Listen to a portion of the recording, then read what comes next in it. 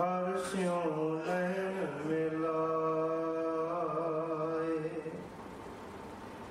ਸੁਣੀ ਪੁਕਾਰ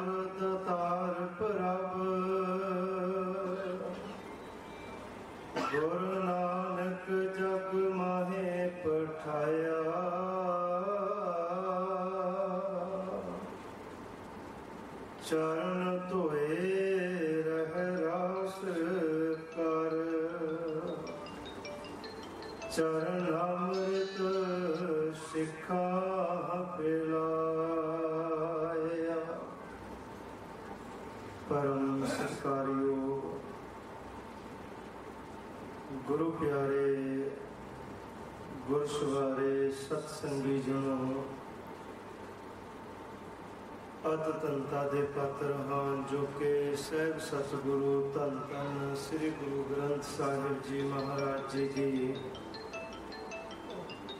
ਪਾਵਨ ਪਵਿੱਤਰ ਮੁਕੱਦਸ ਹਜ਼ੂਰੀ ਅੰਦਰ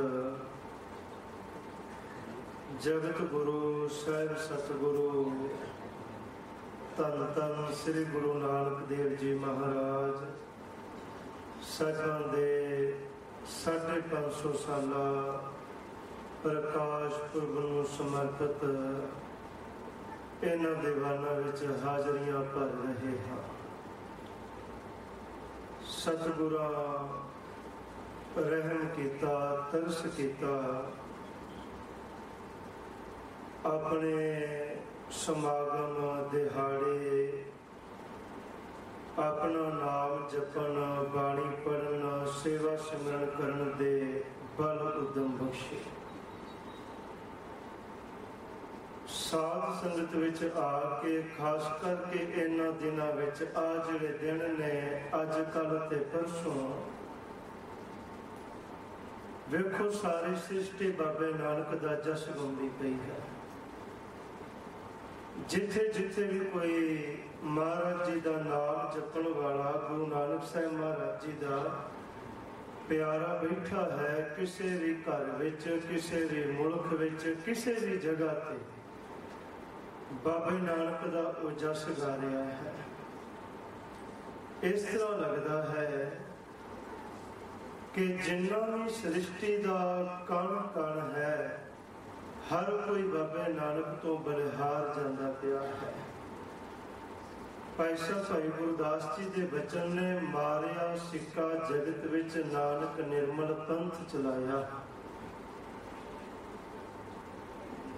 ਬਾਕੀ ਜਿੰਨੇ ਵੀ ਧਰਮ ਨੇ, ਸਾਰੇ ਧਰਮਾਂ ਤੋਂ ਸਿੱਖ ਧਰਮ ਨਵੇਕਲਾ ਧਰਮ ਹੈ। ਤੁਸੀਂ ਕਿਸੇ ਵੀ ਧਰਮ ਬਾਰੇ ਪੜ੍ਹ ਕੇ ਦੇਖ ਲਓ। ਕੋਈ 5000 ਸਾਲ ਸਾਲ ਪੁਰਾਣਾ ਆਪਣੇ ਆਪ ਨੂੰ ਕਹਿੰਦਾ ਕੋਈ ਕਿੰਨੇ ਹਜ਼ਾਰ ਸਾਲ। ਆਪਾਂ 550 ਸਾਲ ਪਾ ਕੇ 550 ਸਾਲ ਪਹਿਲਾਂ ਸਿੱਖ ਧਰਮ ਦੀ ਅਰੰਭਤਾ ਹੋਈ ਸ਼ੁਰੂਆਤ ਇੱਕ ਹੋਰ ਬੇਨਤੀ ਬਾਬੇ ਨਾਨਕ ਨੂੰ ਜਿੰਨੇ ਵੀ ਮਿਲੇ, ਸਵਾਲੀ ਮਿਲੇ। ਗੁਰੂ ਨਾਨਕ ਸਾਹਿਬ ਮਹਾਰਾਜ, ਸੱਚੇ ਪਾਤਸ਼ਾਹ ਜੀ ਨੂੰ ਜਿੰਨੇ ਵੀ ਮਿਲੇ, ਸਵਾਲੀ ਮਿਲੇ।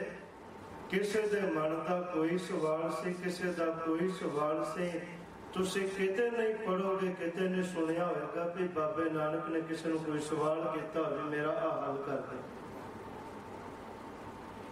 ਸਾਹਿਬ, ਸਤਿਗੁਰੂ ਧੰਨ ਗੁਰੂ ਨਾਨਕ ਸਾਹਿਬ ਮਹਾਰਾਜ, ਸੱਚੇ ਪਾਤਸ਼ਾਹ ਜੀ। ਅਨੇਕਾਂ ਹੀ ਥਾਵਾਂ ਤੇ ਗਏ। ਸਤਿਗੁਰਾਂ ਨੂੰ ਕਿੰਨੀਆਂ ਭਾਸ਼ਾਵਾਂ ਹੁੰਦੀਆਂ ਹੋਣਗੀਆਂ। ਸਭ ਤੋਂ ਪਹਿਲੀ ਗੱਲ ਹੈ, ਮੇਰੀ ਤੇ ਤੁਹਾਡੀ ਸਾਂਝ ਬਣੇ। ਤੁਹਾਨੂੰ ਮੇਰੀ ਬੋਲੀ ਸਮਝ ਆਉਣੀ ਚਾਹੀਦੀ ਹੈ, ਮੈਨੂੰ ਤੁਹਾਡੀ ਗੱਲ ਸਮਝ ਆਉਣੀ ਚਾਹੀਦੀ ਹੈ। ਸਭ ਤੋਂ ਪਹਿਲੀ ਗੱਲ।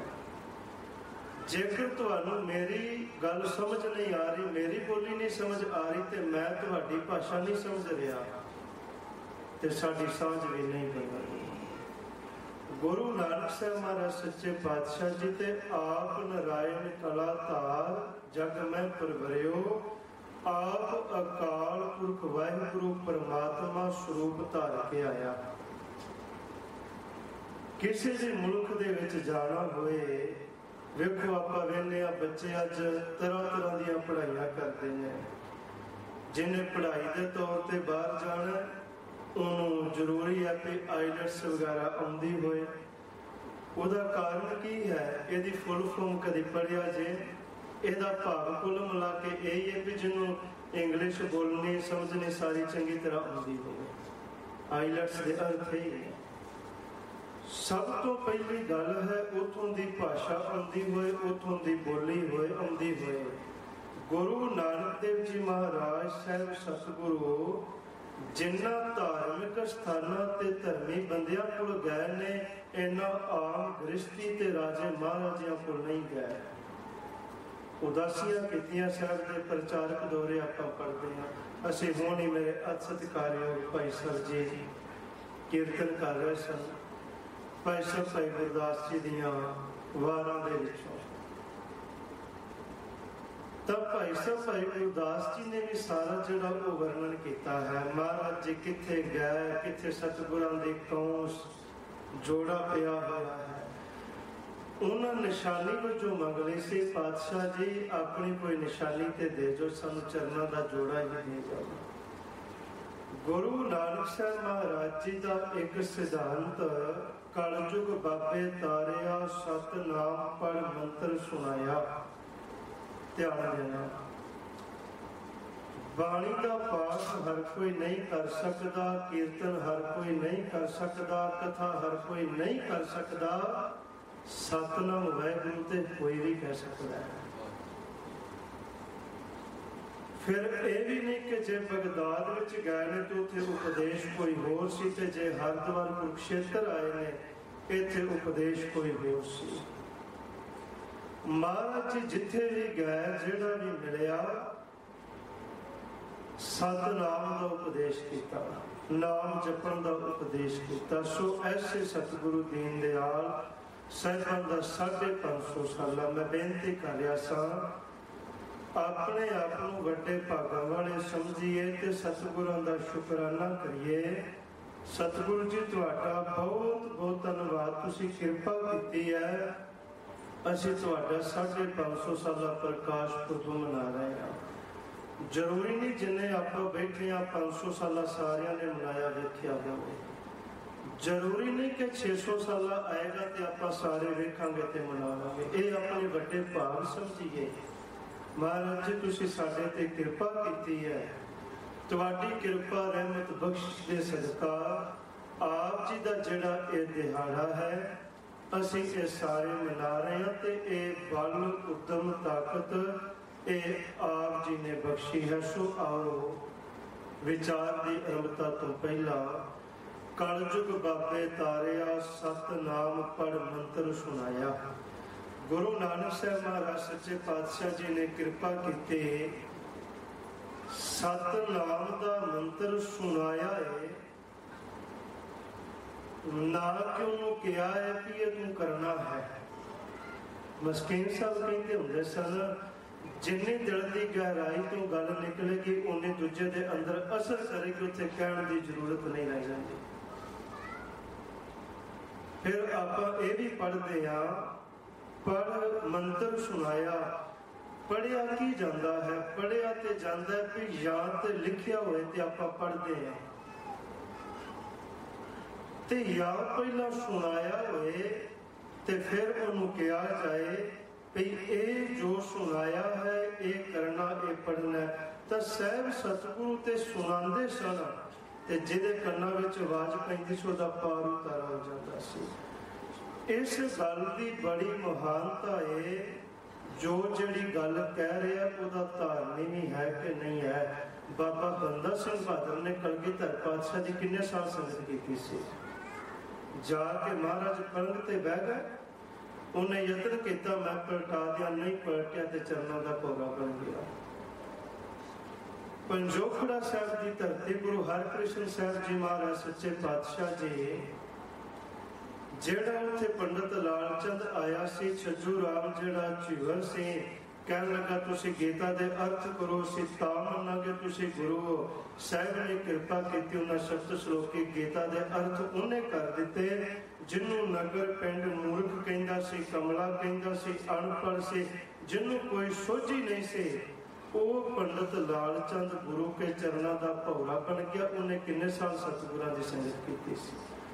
ਇਸ ਗੱਲ ਦੀ ਬੜੀ ਮਹਾਨਤਾ ਹੈ ਜੋ ਜਿਹੜੀ ਗੱਲ ਦਾ ਧਾਰਨੀ ਉਹ ਕਹਿ ਰਿਹਾ ਹੈ, ਉਹਨੂੰ ਕਹਿਣਾ ਨਹੀਂ ਪਵੇਗਾ, ਉਹਨਾਂ ਬਚਨਾਂ ਦਾ ਅਸਰ ਪੈਗਾ ਹੀ ਪੈਗਾ ਨਾਵੇਂ ਬਾਦਸ਼ਾਹ ਗੁਰੂ ਤੇਗ ਬਹਾਦਰ ਸਾਹਿਬ ਜੀ ਮਹਾਰਾਜ ਜੀ ਦਾ ਕੋਈ ਮਿੱਤਰ ਸੀ ਤੇ ਉਹਦੀ ਮਾਤਾ ਆ ਗਈ, ਆ ਕੇ ਕਹਿਣ ਲੱਗੀ, ਆਪਣੇ ਮਿੱਤਰ ਨੂੰ ਸਮਝਾਓ, ਇਹ ਗੁੜ ਬੜਾ ਖਾਂਦਾ ਹੈ। ਇਤੀ ਜਨਕਾਰੀ ਪ੍ਰਿੰਸੀਪਲ ਸਤਵੀਰ ਸਿੰਘ ਬਰਾ ਦੀ ਕਿਤਾਬ ਹੈ। ਆ ਕੇ ਕਹਿਣ ਲੱਗੀ, ਇਹਨੂੰ ਸਮਝਾਓ, ਤੁਹਾਡਾ ਮਿੱਤਰ ਹੈ, ਤੁਹਾਡਾ ਦੋਸਤ ਹੈ ਤੇ ਗੁੜ ਬੜਾ ਖਾਂਦਾ ਹੈ। ਸਹਿਬ ਜੀ ਨੇ ਵਚਨ ਕੀਤੇ, ਮਾਂ ਇੱਕ ਹਫ਼ਤੇ ਬਾਅਦ ਆਈ। ਜਿਹੜੀ ਦੋਸਤ ਦੀ ਮਾਂ ਆਈ ਸੀ। ਇੱਕ ਹਫ਼ਤੇ ਦਾ ਸਮਾਂ ਬੀਤਿਆ ਤੇ ਮਾਂ ਆ ਗਈ ਤੇ ਉਹਨੂੰ ਨਾਲ ਲੈ ਆਈ।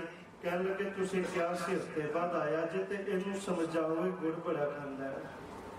ਸਹਿਬ ਨੇ ਵਚਨ ਕੀਤੇ, ਗੁਰੂ ਤੇਗ ਬਹਾਦਰ ਸਾਹਿਬ ਜੀ ਮਹਾਰਾਜ ਜੀ ਨੇ ਭਾਈ ਗੁੜ ਨਾ ਖਾਇਆ ਕਰ। ਮਾਂ ਹੈਰਾਨ ਹੋਈ, ਗੱਲ ਤੇ ਇੰਨੀ ਹੀ ਕਹਿਣੀ ਸੀ ਤੇ ਉਦੋਂ ਹੀ ਕਹਿ ਦਿੰਦੇ ਹਫਤਾ ਕਾਦੇ ਲਈ ਪਾਇਆ ਵਿੱਚ ਇਸ ਤਰ੍ਹਾਂ ਕਿਉਂ ਕਿਹਾ ਕਿ ਹਫ਼ਤੇ ਬਾਅਦ ਆਈ? ਤੇ ਸਾਹਿਬ ਨੇ ਵਚਨ ਕੀਤੇ ਸਨ ਮਾਂ, ਉਦੋਂ ਮੈਂ ਆਪ ਬੜਾ ਖਾਂਦਾ ਸਾਂ, ਮੈਂ ਕਿਵੇਂ ਨਾ ਕਰਾਂ? ਇੱਕ ਹਫਤਾ ਹੋ ਗਿਆ, ਮੈਂ ਆਪ ਨਹੀਂ ਖਾਦਾ, ਉਹਨੂੰ ਕਮਾਇਆ ਗੱਲ ਨੂੰ ਜਿਹੜੀ ਕਿਸੇ ਨੂੰ ਕਹਿਣੀ ਹੈ। ਇੱਕ ਹਫਤਾ ਹੋ ਗਿਆ, ਮੈਂ ਆਪ ਨਹੀਂ ਖਾਦਾ ਅੱਜ ਮੈਂ ਇਹਨੂੰ ਕਿਹਾ, ਗੁੜ ਨਾ ਖਾਇਆ ਕਰੇ ਗੁੜ ਛੱਡ ਦੇਗਾ ਇਹਦੇ ਤੇ ਅਸਰ ਹੋਏਗਾ। ਸੋ ਇਸ ਗੱਲ ਦੀ ਬੜੀ ਮਹਾਨਤਾ ਹੈ, ਜੋ ਬਚਨ ਕੋਈ ਕਿਸੇ ਨੂੰ ਕਰ ਰਿਹਾ ਏ, ਕਹਿ ਰਿਹਾ ਏ, ਉਹਦੇ ਜੀਵਨ ਦੇ ਵਿੱਚ ਉਹ ਆਪ ਵੀ ਉਸ ਦਾ ਧਾਰਨੀ ਹੈ ਕਿ ਨਹੀਂ ਹੈ। ਜੇ ਤੇ ਆਪ ਉਸ ਦਾ ਧਾਰਨੀ ਹੈ ਤਾਂ ਉਹਨੂੰ ਬਹੁਤਾ ਕਹਿਣਾ ਨਹੀਂ ਪਵੇਗਾ। ਸਾਧੂ ਇਹਨਾਂ ਨੂੰ ਕਹਿੰਦੇ ਨੇ, ਬੰਦਗੀ ਵਾਲਿਆਂ ਦੇ ਬਚਨ, ਸਾਧੂਆਂ ਦੇ ਮਹਾਂਪੁਰਸ਼ਾਂ ਦੇ, ਜਿਨ੍ਹਾਂ ਨੇ ਬੰਦਗੀ ਕੀਤੀ ਹੈ, ਜਿਨ੍ਹਾਂ ਨੇ ਖੁਦ ਨੂੰ ਆਪਣੇ ਆਪ ਨੂੰ ਕਮਾਇਆ ਹੈ, ਉਹ ਕਿਉਂ ਘੱਟ ਬੋਲਦੇ ਨੇ? ਉਹਦਾ ਕਾਰਨ ਇੱਕ, ਸਹਿਜ ਸੁਭਾਏ ਬੋਲਿਆ ਵੀ ਸੱਚ ਹੋ ਜਾਣਾ ਹੈ। ਜਿਸ ਦੀ ਬੰਦਗੀ ਵੱਧਦੀ ਜਾਏਗੀ ਉਹਦੀ ਜ਼ੁਬਾਨ ਸੰਸਾਰ ਵਾਲੇ ਪੱਖ ਤੋਂ ਉਹਨੇ ਚੁੱਪ ਹੁੰਦੀ ਜਾਏਗੀ। ਉਹਨੂੰ ਸੰਸਾਰ ਦੀਆਂ ਗੱਲਾਂ ਬੇਰਸੀਆਂ ਲੱਗਣਗੀਆਂ। ਆਪਾਂ ਬਾਣੀ ਪੜ੍ਹਦੇ ਆ ਸੇਵਾ ਕਰਦੇ ਆ ਸਿਮਰਨ ਕਰਦੇ ਆ ਆਪਣੇ ਮਨ ਨੂੰ ਖੁਦ ਨੂੰ ਜੇ ਪਰਖਣਾ ਹੋਵੇ ਨਾ ਕਿ ਮੇਰੀ ਯਾਤਰਾ ਧਰਮ ਵਾਲੇ ਪਾਸੇ ਚੱਲ ਵੀ ਰਹੀ ਹੈ ਕਿ ਨਹੀਂ ਚੱਲ ਰਹੀ। ਜੇ ਤਾਂ ਕਿਤੇ ਕਿਸੇ ਦੀ ਬੁਰਾਈ ਹੋ ਰਹੀ ਹੈ, ਉੱਥੇ ਆਇਆ ਰਸ। ਬੰਦਾ ਹੈ ਕਰਕੇ ਗੱਲ ਸੁਣੇ, ਦੁਬਾਰਾ ਫਿਰ ਤੇ ਸਮਝ ਲੈਣਾ ਅਜੇ ਮਾਰਗ ਤੇ ਖੜੇ ਆ, ਅਜੇ ਚੱਲੇ ਨਹੀਂ। ਜਿਵੇਂ ਮੇਲ ਪੱਥਰ ਤੇ ਇੱਕ ਸ਼ਹਿਰ ਦਾ ਨਾਮ ਲਿਖਿਆ ਤੇ ਫਲਾਣਾ ਸ਼ਹਿਰ ਤੋਂ ਇੰਨੇ ਕਿਲੋਮੀਟਰ ਹੈ। ਖੜਾ ਤੇ ਪੜਦਾ ਪਿਆ ਪਹੁੰਚੇਗਾ ਤਾਂ ਜੇ ਪੜ ਕੇ ਤੇ ਅੱਗੇ ਚੱਲੇਗਾ, ਉਹਦਾ ਧਾਰ ਨਹੀਂ ਬਣੇਗਾ। ਜੇ ਖੜਾ ਪੜਦਾ ਪਿਆ ਉੱਥੇ ਖੜਾ ਪੜੀ ਜਾ ਰਿਹਾ ਹੈ। ਇਹਦਾ ਮਤਲਬ ਇਹ ਵੀ ਨਾ ਸਮਝ ਲੈਣਾ ਵੀ ਨਾਮ ਨਹੀਂ ਜਪਣਾ, ਬਾਣੀ ਨਹੀਂ ਪੜਨੀ ਜ਼ਿੰਦਗੀ ਤੇ ਅਸਰ ਤੇ ਪੈਂਦਾ ਹੀ ਪੈਂਦਾ, ਕਹਿਣ ਤੋਂ ਭਾਵ ਵੀ ਜੇ ਆਪਣੇ ਆਪ ਨੂੰ ਵੇਖਣਾ ਹੋਵੇ ਕਿ ਮੈਂ ਧਰਮ ਵਾਲੇ ਮਾਰਗ ਤੇ ਚੱਲ ਵੀ ਰਿਹਾ ਕਿ ਨਹੀਂ ਚੱਲ ਰਿਹਾ, ਜਦੋਂ ਸੰਸਾਰ ਦੀਆਂ ਗੱਲਾਂ, ਨਿੰਦਿਆ, ਚੁਗਲੀ ਉੱਥੇ ਬੇਰਸੀ ਲੱਗੇ, ਮਨ ਕਾਲਾ ਪਵੇ, ਮਨ ਤੈਨੂੰ ਇੱਥੇ ਨਹੀਂ ਖਲੋਣਾ ਚਾਹੀਦਾ। ਸਮਝ ਲੈਣਾ, ਜੋ ਮੈਂ ਪੜਦਾ ਕਰਦਾ ਨਾ ਮੇਰੀ ਯਾਤਰਾ ਚੱਲ ਰਹੀ ਹੈ। ਕਈ ਵਾਰ ਇਹ ਵੀ ਸਵਾਲ ਹੁੰਦਾ ਸੰਗਤ ਦੇ ਵਿੱਚੋਂ ਜੇਕਰ ਬਾਣੀ ਦੇ ਅਰਥ ਨਹੀਂ ਹੁੰਦੇ ਤੇ ਕੀ ਪਾਠ ਕਰ ਲੈਣਾ ਚਾਹੀਦਾ ਹੈ? ਅਕਸਰ ਜਗਿਆਸੂ ਦੇ ਮਨ ਵਿੱਚ ਇਹ ਸਵਾਲ ਹੁੰਦਾ ਹੈ, ਜਿਹੜੇ ਪੜ੍ਹਦੇ ਨੇ ਉਹਨਾਂ ਦੇ ਹੀ ਹੁੰਦਾ ਹੈ।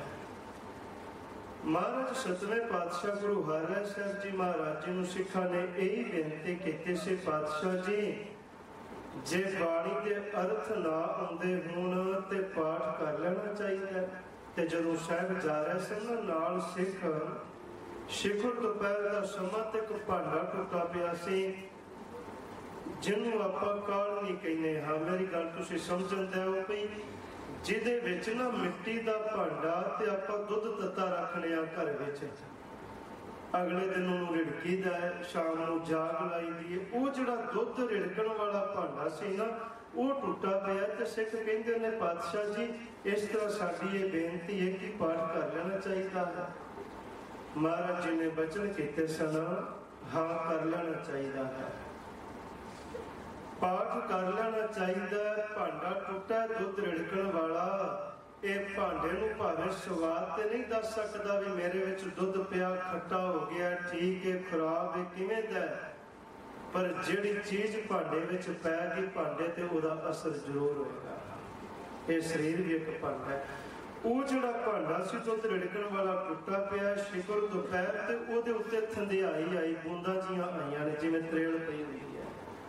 ਜਿਹੜਾ ਉਹ ਥਿੰਦਾ ਸੀ ਨਾ, ਉਹਦੇ ਵਿੱਚੋਂ ਬਾਹਰ ਆ ਰਿਹਾ ਹੈ, ਤਾਂ ਸਾਹਿਬ ਨੇ ਇਹ ਬਚਨ ਕੀਤੇ ਸਨ ਕਿ ਜਿਹੜੀ ਚੀਜ਼ ਭਾਂਡੇ ਵਿੱਚ ਪੈ ਕੇ ਭਾਂਡੇ ਤੇ ਉਹਦਾ ਅਸਰ ਹੋਏਗਾ ਹੀ ਹੋਏਗਾ। ਤੁਸੀਂ ਲੱਸੀ ਪਾ ਦਿਓ ਕਿਸੇ ਭਾਂਡੇ ਦੇ ਵਿੱਚ, ਦਹੀਂ ਪਾ ਦਿਓ, ਉਸ ਭਾਂਡੇ ਵਿੱਚ ਸਮੈਲ ਉਸੇ ਤਰ੍ਹਾਂ ਦੀ ਆਏਗੀ। ਜੋ ਵੀ ਚੀਜ਼ ਉਹਦੇ ਵਿੱਚ ਪੈ ਗਈ, ਉਹਦਾ ਪ੍ਰਭਾਵ ਪਵੇਗਾ ਹੀ ਪਵੇਗਾ। ਇਸ ਲਈ ਸਰੀਰ ਇੱਕ ਭਾਂਡੇ ਦੀ ਤਰ੍ਹਾਂ ਹੈ।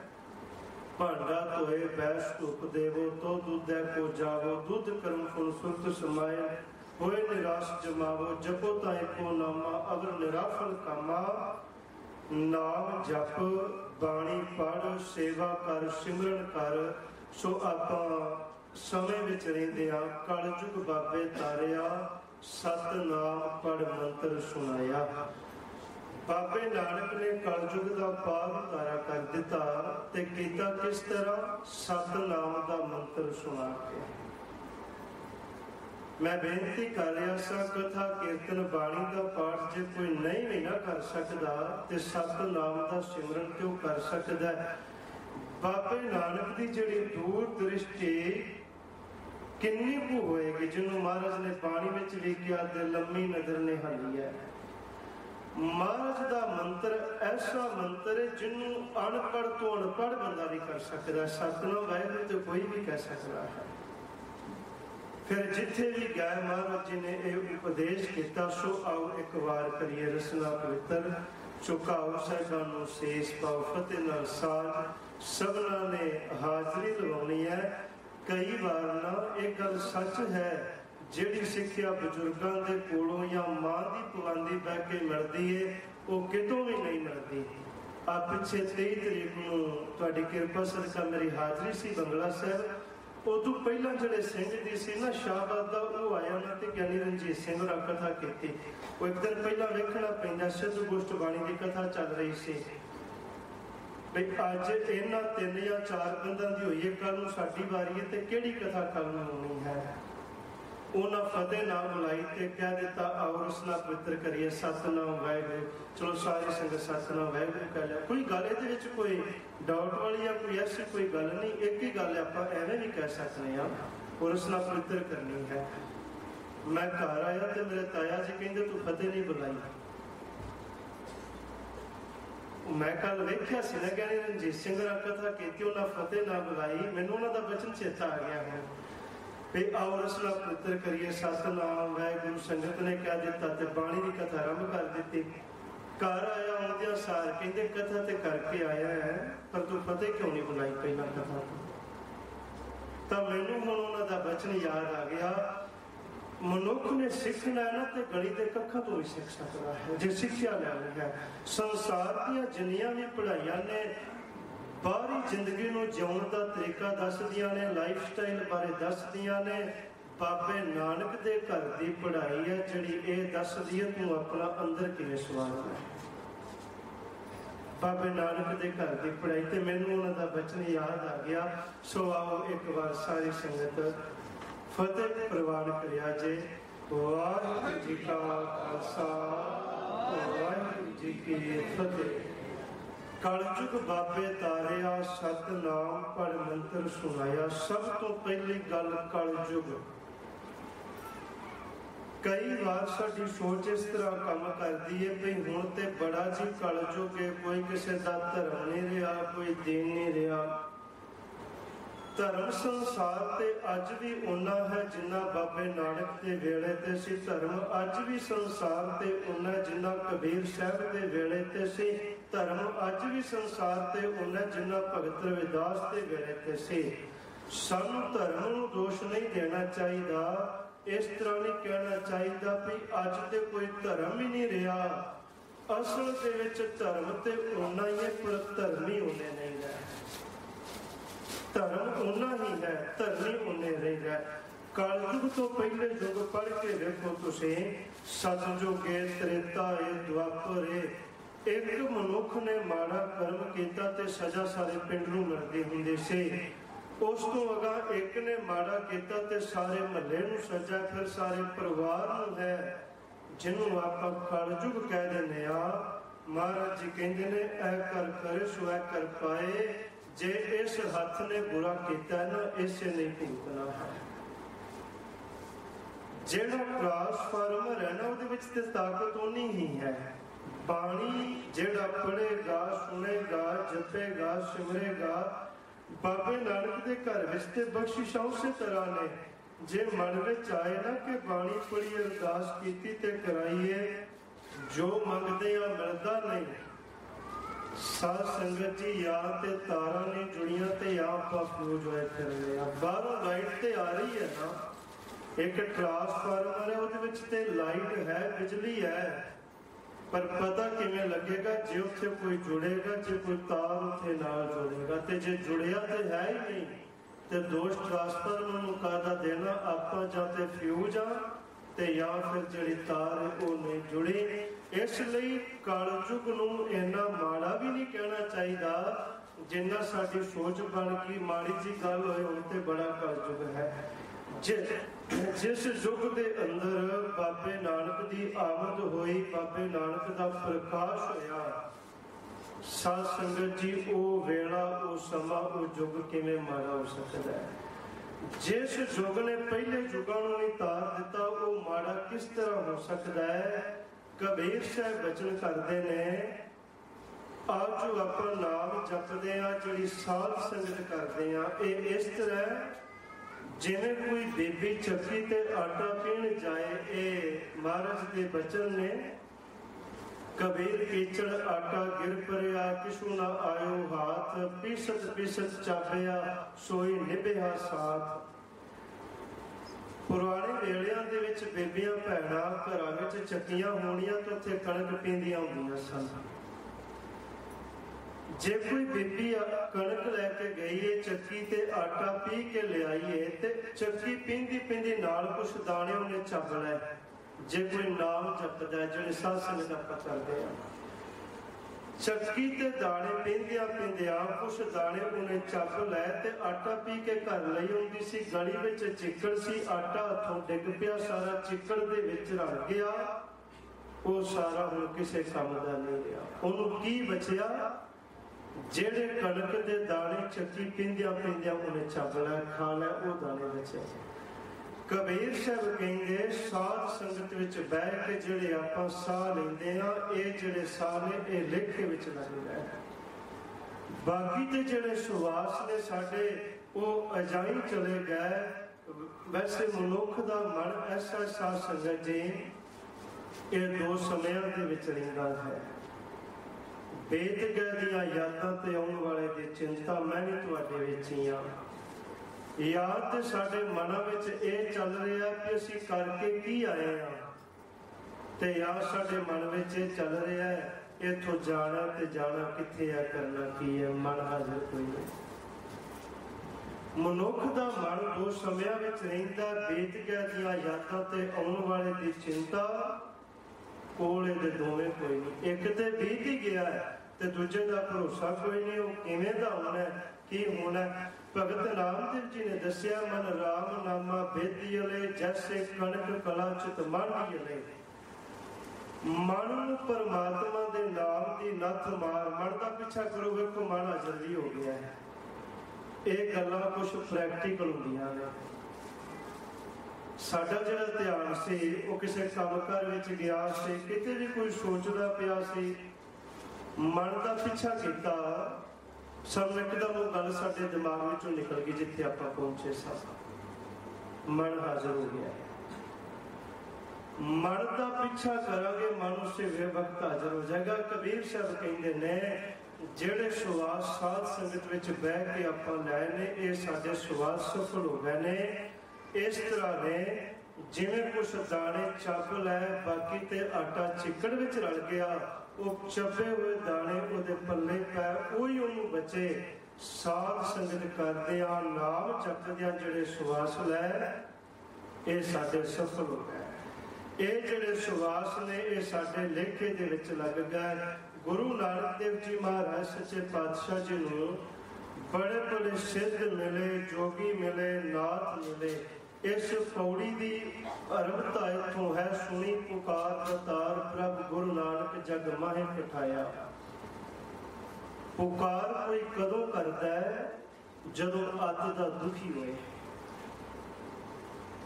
ਮਨ ਵਿੱਚੋਂ ਪੁਕਾਰ ਉਦੋਂ ਹੀ ਨਿਕਲੇਗੀ ਨਾ ਜਦੋਂ ਕੋਈ ਬੜਾ ਹੀ ਕਿਸੇ ਗੱਲ ਤੋਂ, ਕਿਸੇ ਕੰਮ ਤੋਂ, ਕਿਸੇ ਕਾਰਨ ਦੁਖੀ ਹੋਏਗਾ, ਉਹ ਕਿਸੇ ਕੇ ਪੁਕਾਰੇਗਾ ਕਿ ਮੇਰਾ ਕੋਈ ਹੱਲ ਕਰੋ ਮੇਰੀ ਜ਼ਿੰਦਗੀ ਦਾ, ਮੇਰੇ ਜੀਵਨ ਦਾ ਇਹ ਦੁੱਖ ਹੈ, ਇਹਨੂੰ ਦੂਰ ਕਰੋ। ਗੁਰੂ ਨਾਨਕ ਸਾਹਿਬ ਮਹਾਰਾਜ ਜੀ ਸੱਚੇ ਪਾਤਸ਼ਾਹ ਜੀ ਜੀ ਦੇ ਵੇਲੇ ਤੇ ਤਿੰਨ ਤਰ੍ਹਾਂ ਦੇ ਧਾਰਮਿਕ ਸਥਾਨ ਸਨ।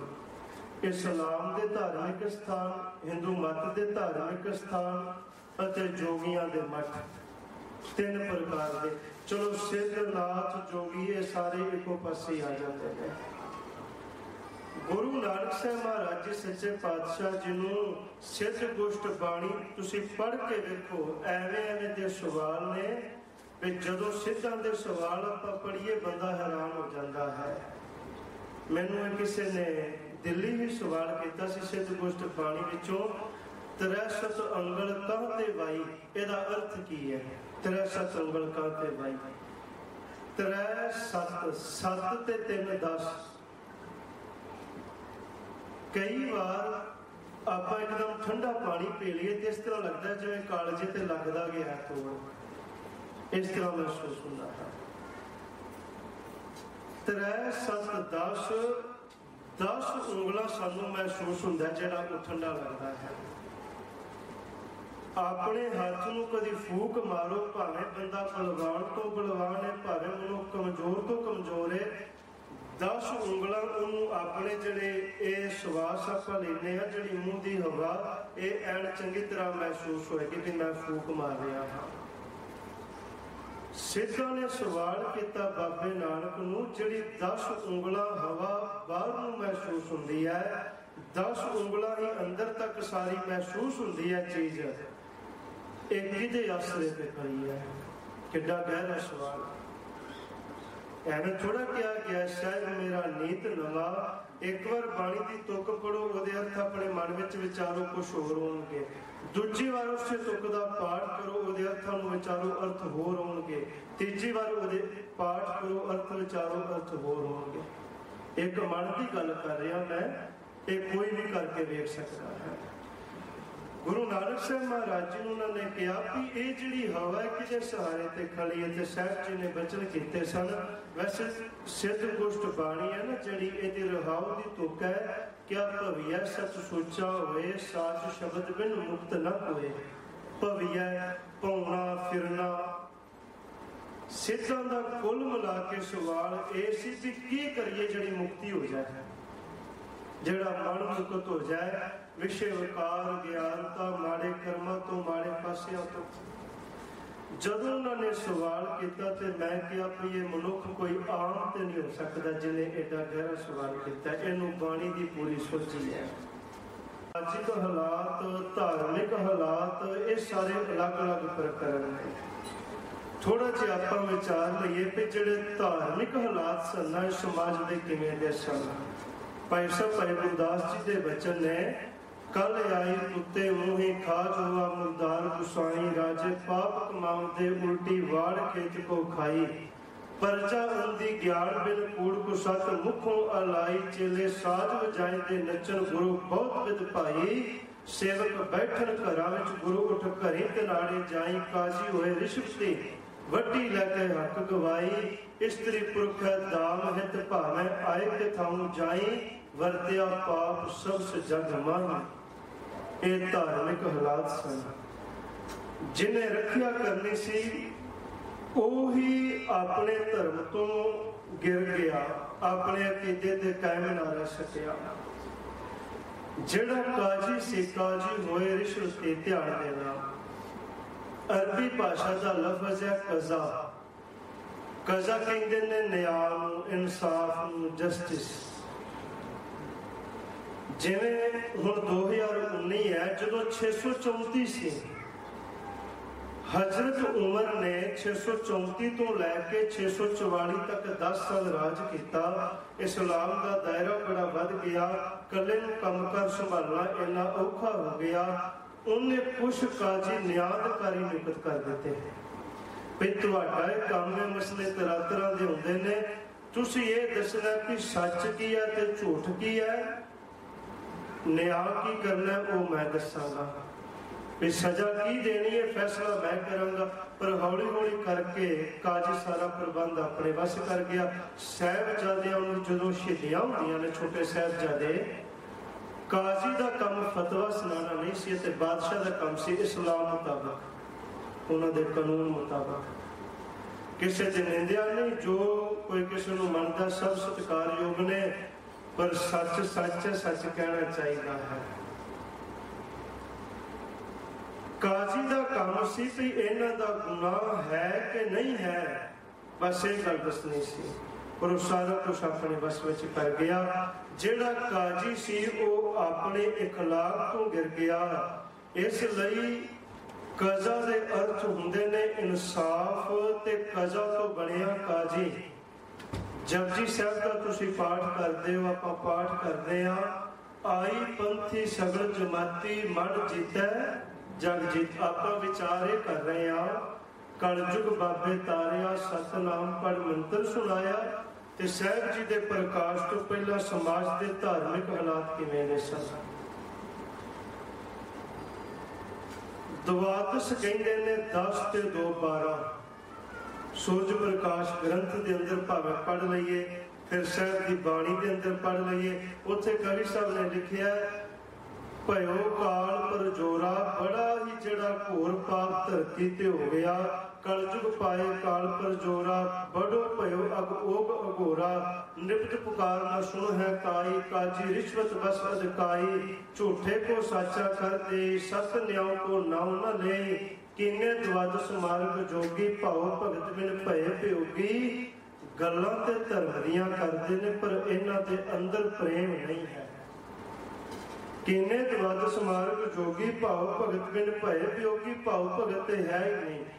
ਹੁਣ ਇੱਥੇ ਕਿਹਾ ਦਵਾ 10 10 ਤੇ 2 12 ਤੇ ਸਹਿਬ ਦੀ ਬਾਣੀ ਪੜੋ 12 ਮੈਂ ਜੋਗੀ ਪਰਮਾਏ ਸੁਣਿਆ ਸੀ 6 4 ਗੁਰੂ ਨਾਨਕ ਸਾਹਿਬ ਮਹਾਰਾਜ ਜੀ ਦੀ ਆਪਣੇ ਬਚਨਾਂ ਦੇ ਅੰਦਰ ਸਿੱਧ ਗੁਸ਼ਟ ਬਾਣੀ ਵਿੱਚ ਕਿਰਪਾ ਕੀਤੀ।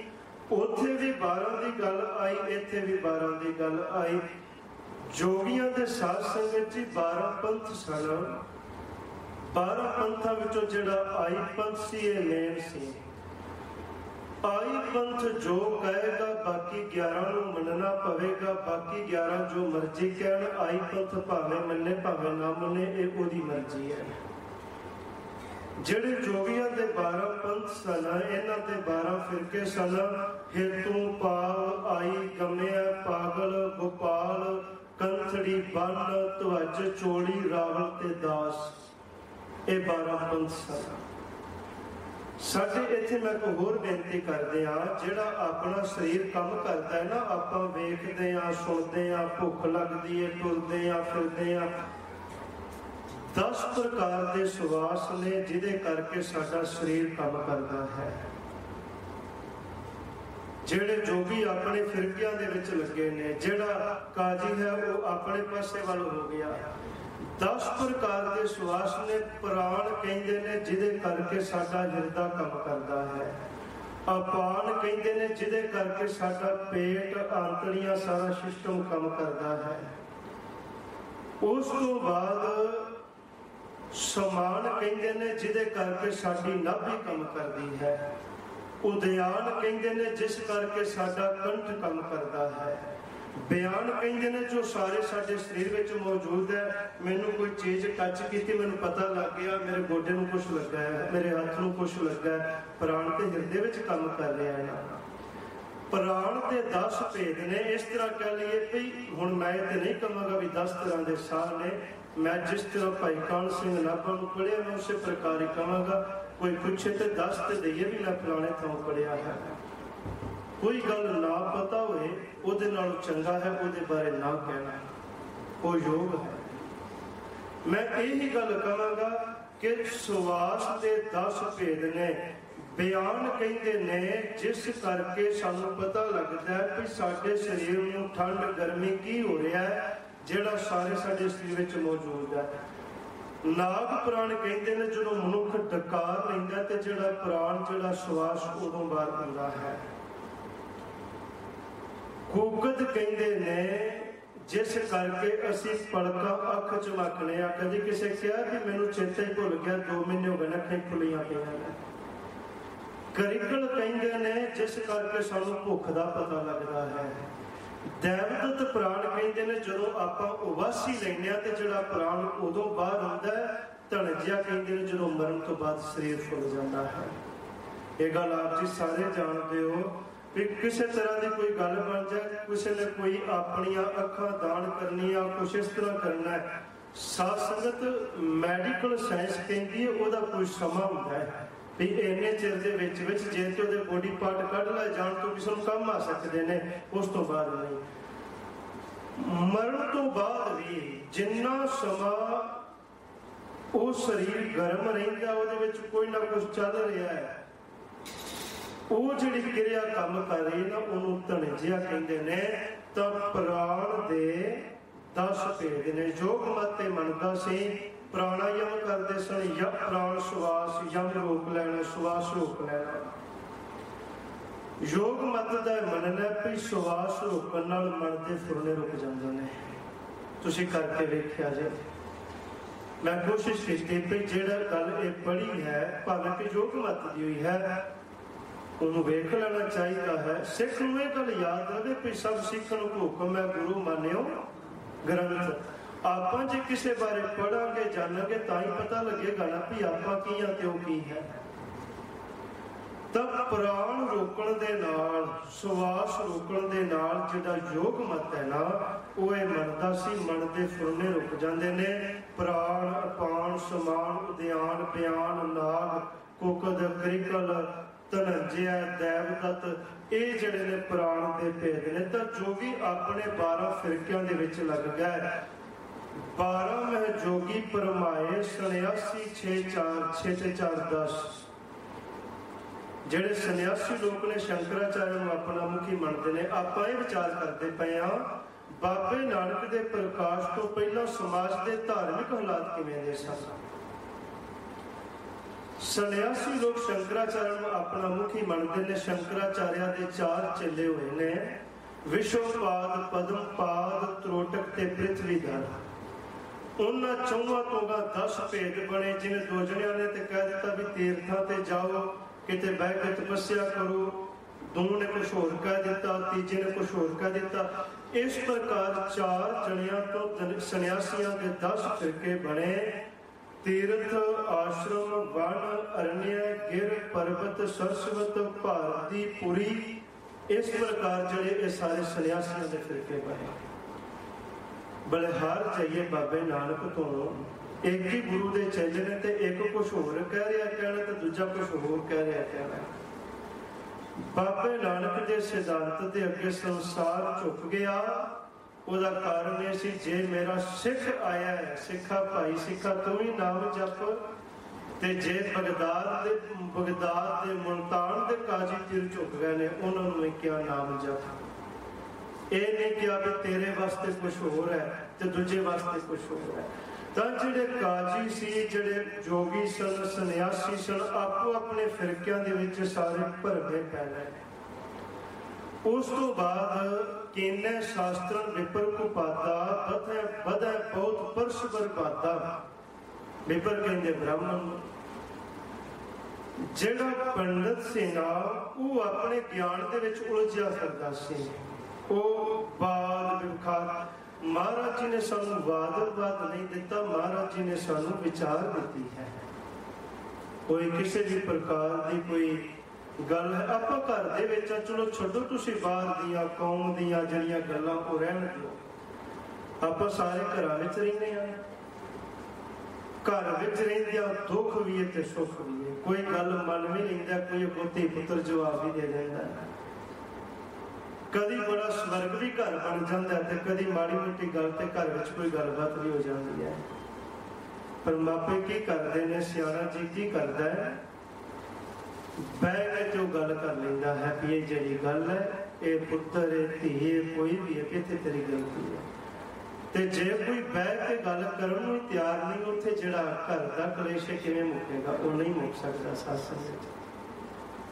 ਆਪ ਆਪਾਂ ਪਿੱਛੋਂ ਪਿੰਡਾਂ ਦੇ ਵਿੱਚੋਂ ਆਏ ਆ ਪੰਜਾਬ ਦੇ ਵਿੱਚ ਪਿੰਡਾਂ ਦੇ ਰਹਿਣ ਵਾਲੇ ਆ ਜੇ ਘਰ ਪਰਿਵਾਰ ਵਿੱਚ ਨਗਰ ਵਿੱਚ ਕੋਈ ਗੱਲ ਹੋ ਜਾਏ, ਪੰਚਾਇਤ ਤੇ ਸਰਪੰਚ ਹੈ, ਬੈਂਕ ਵਿੱਚ ਜਿਹੜੀ ਗੱਲ ਹੋ ਜਾਏ, ਇਸ ਲਈ ਮਹਾਰਾਜ ਜੀ ਨੇ ਸਾਨੂੰ ਵਿਚਾਰ ਦਿੱਤੀ ਹੈ, ਜਿਹੜਾ ਪੰਡਤ ਸੀ ਨਾ, ਉਹ ਆਪਣੇ ਗਿਆਨ ਦੇ ਬਾਦ ਬਾਦ ਦੇ ਵਿੱਚ ਉਲਝ ਗਿਆ। ਪੰਡਤ ਦੇ ਅਰਥ ਬ੍ਰਾਹਮਣ ਨਹੀਂ ਹੁੰਦੇ।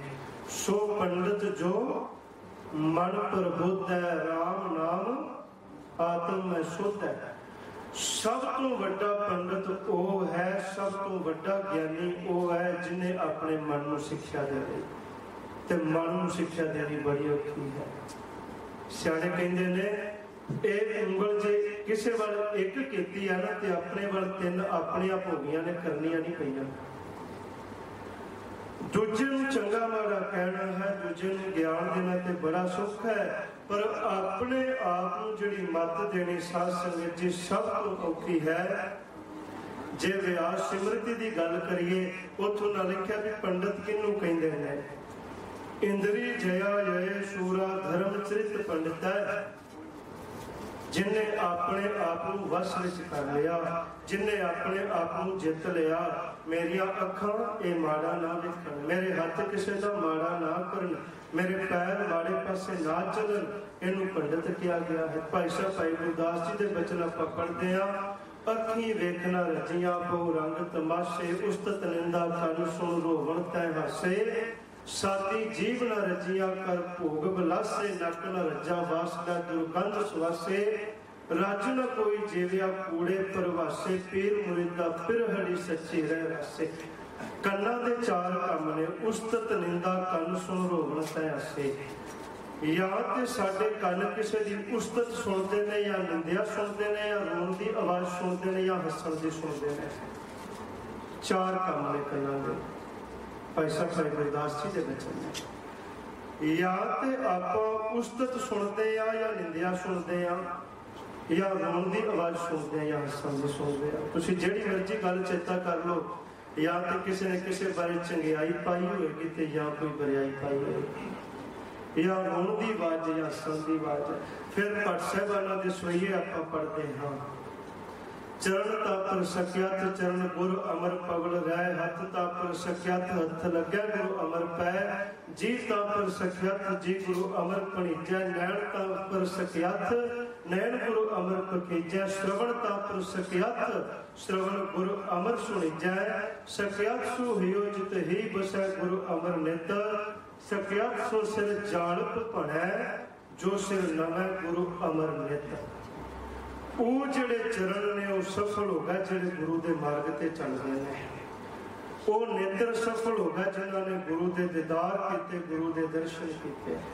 ਉਹ ਕੰਨ ਸਫਲ ਹੋ ਗਏ ਜਿਨ੍ਹਾਂ ਨੇ ਗੁਰੂ ਦਾ ਉਪਦੇਸ਼ ਸੁਣਿਆ, ਗੁਰੂ ਕੇ ਬਚਨ ਸੁਣੇ, ਤਾਂ ਪੰਡਿਤ ਕਹਿੰਦੇ ਨੇ, ਜਿਹੜਾ ਆਪਣੇ ਮਨ ਨੂੰ ਸਿੱਖਿਆ ਦੇਵੇ ਪੰਡਿਤ ਦੇ ਅਰਥ ਕਹਿ ਲਈਏ ਵਿਦਵਾਨ।